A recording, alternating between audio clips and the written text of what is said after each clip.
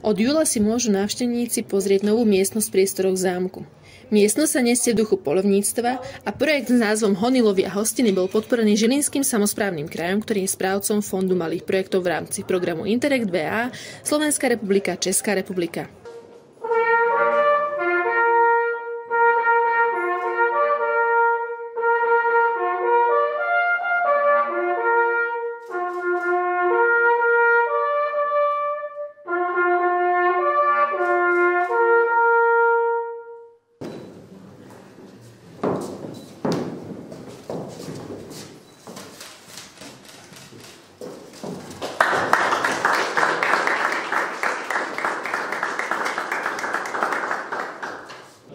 Ko mňa teší, že bolo zadozučinené slubu, ktoré, ktorý som dal našim polovníkom, keď e, previedli na mesto, samozrejme za úplatu, e, majetkové práva a povinnosti k veternému mlynu.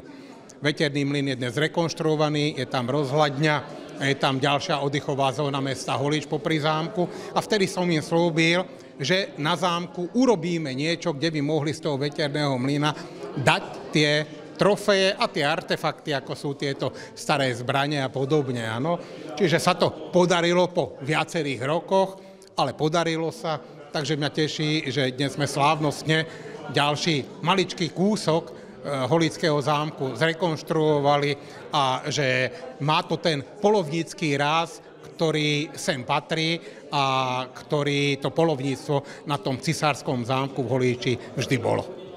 Pri slávnostnom otvorení sa prihovoril i kurátor výstavy Pavol Dinka, ktorý približil prítomný spôsob polovačiek v Holíči. Slávnostného otvorenia sa zúčastnili ostatní polovníci.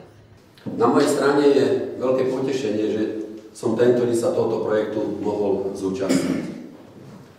K samotnej expozícii asi toľko. Expozícia má dve základné myšlienky.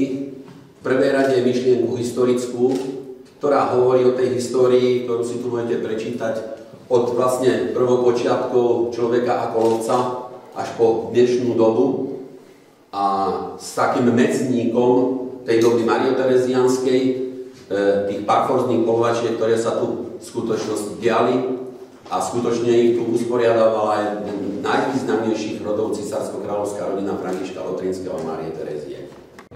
Veríme, že návštevníkom sa bude výstava páčiť a bude pre nich zaujímavá, keďže polovačky mali v Holíči svoju históriu už vďaka Františkovi Štefanovi Lotrinskému.